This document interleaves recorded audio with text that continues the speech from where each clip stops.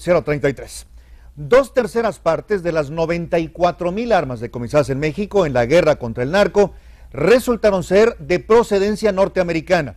Esto lo reveló en una audiencia senatorial sobre la fallida operación Rápido y Furioso el procurador general adjunto Lanny Brewer. Pidió disculpas por no haber informado sobre otro fallido operativo, receptor abierto se llamó, que durante la administración Bush también metió a México armamento de grueso calibre. El procurador Brewer pidió a los legisladores eludir las presiones de fabricantes y lobistas para hacer algo para impedir que los criminales accedan a más armas norteamericanas. Esa postura es muy relevante para México porque cada vez más queda claro que los mal llevados operativos de la Agencia de Armas y Explosivos permitieron apertrecharse a los grandes capos, Datos actualizados indican que en Tijuana fueron aseguradas un total de 16 armas relacionadas al operativo rápido y furioso de la ATF en seis eventos distintos.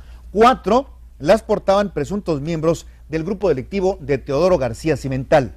Y esta información